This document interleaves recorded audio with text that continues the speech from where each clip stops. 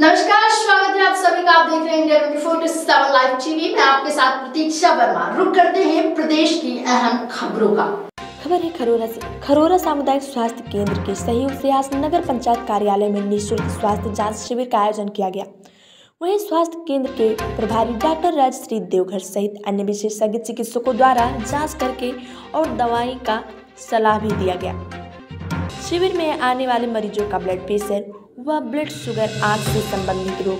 आदि पर जाँच करने के साथ ही चिकित्सकीय परामर्श दिया वहीं 102 लोगों का स्वास्थ्य परीक्षण किया गया, जिसमें 12 लोगों में ब्लड शुगर सहित और 15 लोगों का ब्लड प्रेशर बढ़ा हुआ पाया गया।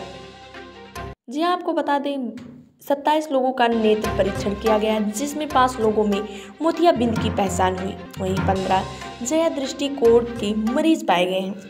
India twenty four into seven live TV के लिए लालजी वर्मा की रिपोर्ट